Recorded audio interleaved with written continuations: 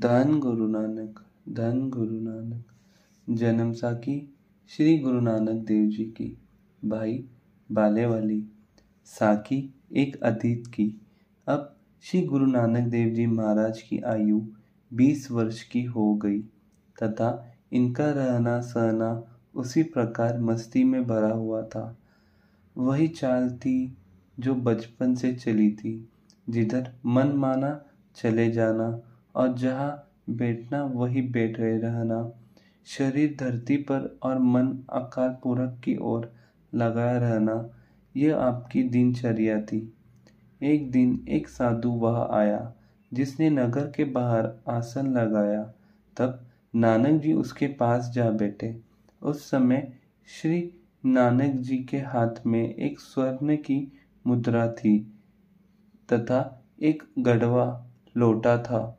उस साधु ने गुरुजी का परिचय पूछा। उत्तर में गुरुजी ने कहा, मैं क्षत्रि का पुत्र हूँ।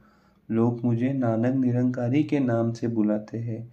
उस साधु ने कहा, हे नानक, आप निरंकारी हो और हम निरंकार के हैं। इसलिए हमें कुछ खाने दीजिए। इसलिए गुरुजी ने अंगूठी और गढ़वा साधु के आगे रख दिए। उसने कहा यह अंगूठी और गढ़वा आप अपने पास ही रखो। गुरुजी ने उत्तर दिया, पुरुषों, को चाहिए जो कुछ कहे, उसी पर अमल करे। तब साधु ने कहा, हे नानक, तुम सत्य रूप में निरंकार हो, तथा हम मिथ्या ही निरंकार के बनते हैं।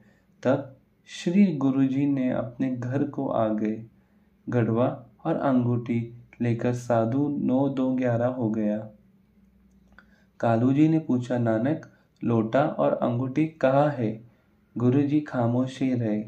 अति कुपित होकर कालू ने कहा कि, नानक, तेरा मेरा घर में ठहरना कठिन है। अभी निकल जाओ। मैं तुमको अपने घर में नहीं रख सकता। मैं तुम्हें समझता कर थक गया हूँ। तुम्हें समझा कर थक गया हूँ। परंतु तुम्हें ज्ञान ही नहीं होता। इसलिए जिधर मन माने चले जाओ। इस बात की सूचना राय बुलार को मिली।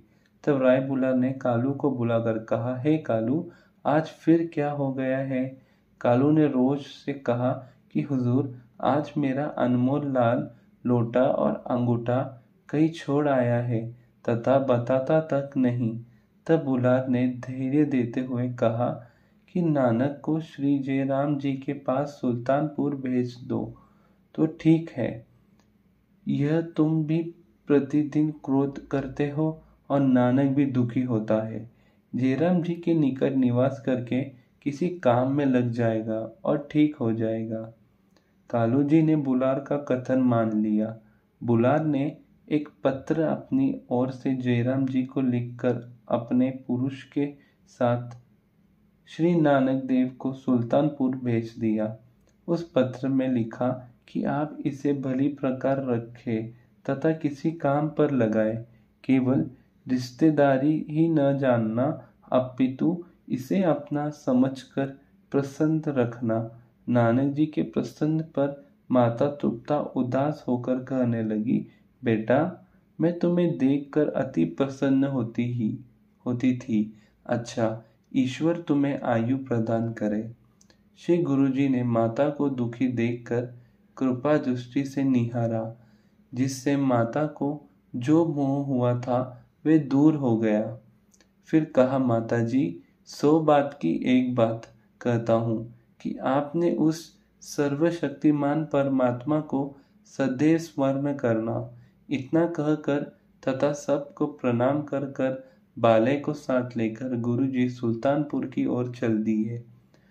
पाँचवें दिन गुरुजी सुल्तानपुर पहुँच गए। सो so, 1544 मार्ग शीर्ष की शुक्ल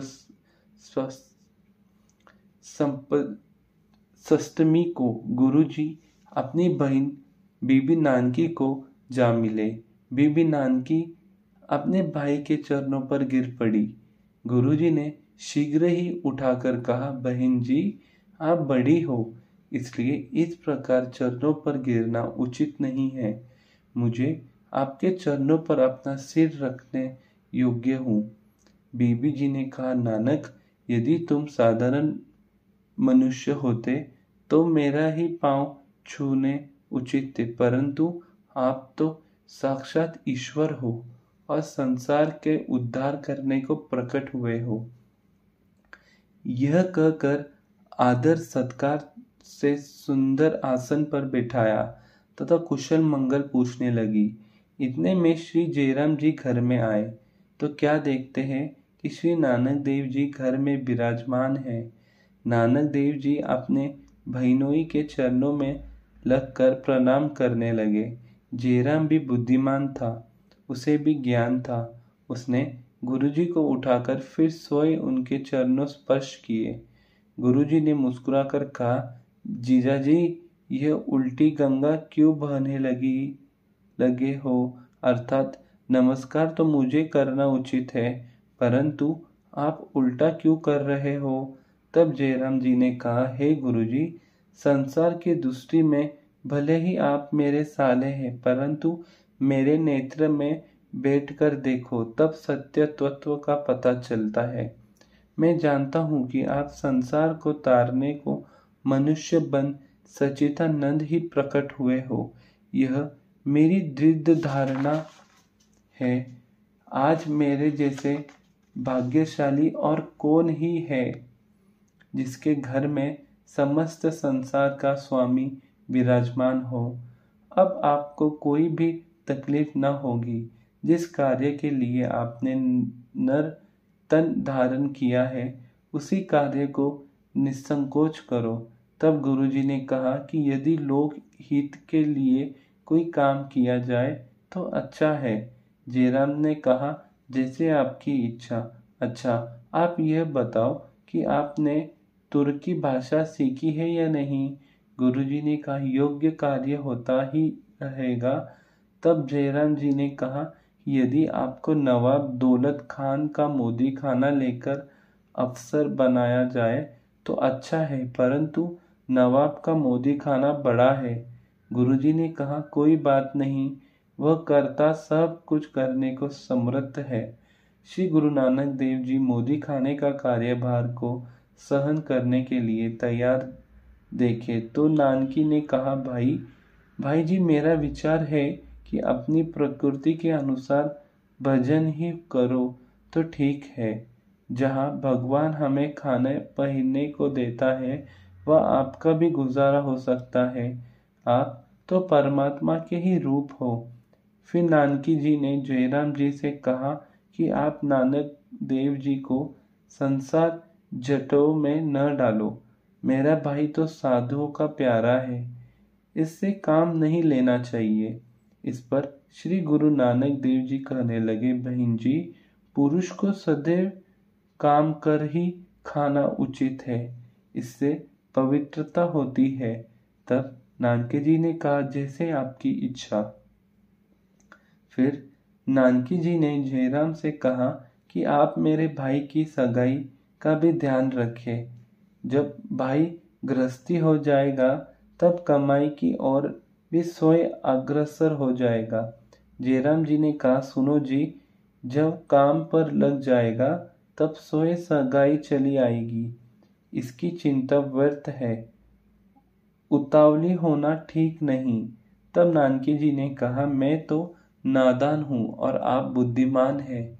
जो कुछ भी उचित होगा वही करेंगे। तब जयराम जी ने मार्ग शिष्य शुक्ल चतुर्दशी के दिन नवाब दौलत खान से गुरुजी का मेल करवाया और जयराम जी ने नवाब को कहा कि आपने एक बार मोदी खाने के लिए कहा था, सो आपके हुक्म अनुसार यह जवान जिसका नाम नानक देव है, लाया हूँ। आप इसे मोदी खाने का काम दो। नवाब ने श्री गुरुजी के मनमोहित ईश्वरीय सूरत देखकर प्रसन्न होकर कहा कि नानक देव बुद्धिमान, दुष्ट, गोचर होता है। आशा है कि मोदी खाने को भली प्रकार संभाला लेगा। यह कहकर मोदी खाने पर श्री नानक देव जी को लगा दिया गया। बीबी नानकी को अति प्रसन्नता हुई। वाहेगुरु जी का खालसा। श्री वाहे गुरु जी की फतेह। धन गुरु नानक, धन गुरु नानक।